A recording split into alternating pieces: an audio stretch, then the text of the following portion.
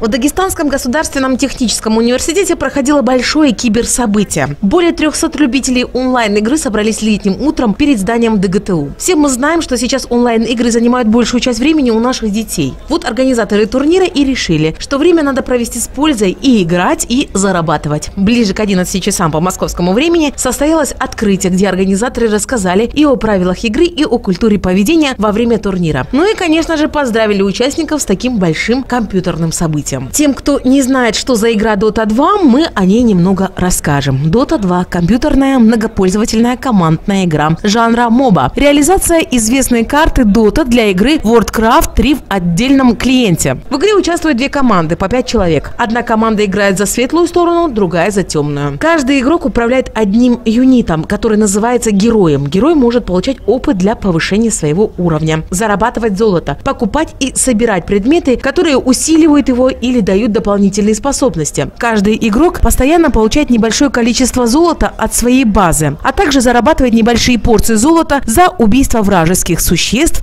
и большие за убийство героев противников. Команды рассредотачиваются по линиям, на которых происходит борьба с вражескими героями и отрядами крипов. Под управлением компьютера, который каждые полминуты появляются на базах команд. Цель игры – уничтожить главное здание на вражеской базе. В Дагестане это первое большое событие в киберсистеме. Таких больших турниров на Северном Кавказе еще не было. Информация о таком большом событии распространялась по всем соцсетям. Финансовую поддержку оказал дагестанский провайдер «Элка». А, мы поддерживаем игроков. Многие игроки, которые здесь сидят, являются нашими клиентами нашей компании, пользуются нашими услугами. Естественно, мы ну, продвигаем эти услуги, продвигаем вообще рынок гейминга. Мы поддерживаем и финансово, и сегодняшние мероприятия. В общем, всестороннюю помощь э, игрокам поддерживаем. Более того, мы стараемся их собирать.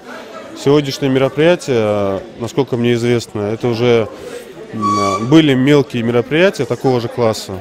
Это мероприятие, оно самое крупное из всех известных, не только по Дагестану, но и на Северном Кавказе в целом. Совместно с генеральным спонсором ЛК интернет-провайдера мы решили организовать и провести первый крупный турнир в, по всему Дагестану.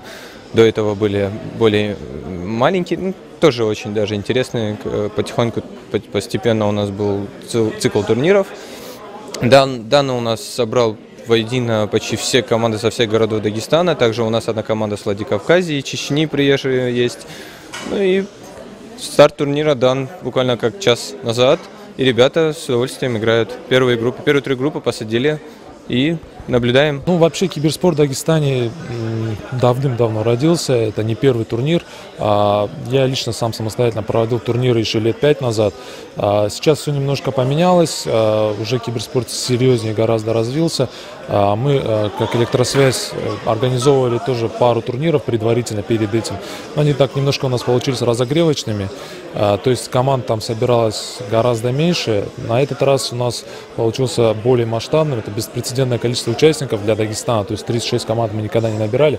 Причем это только Дагестан, приезжих у нас всего лишь две команды, а, насколько я знаю, это Чечня и Владикавказ. Но Владикавказцы, кстати, тоже снялись предварительно, не получилось приехать. А, ну, развиваемся, потихоньку ребята играют, ребята тренируются.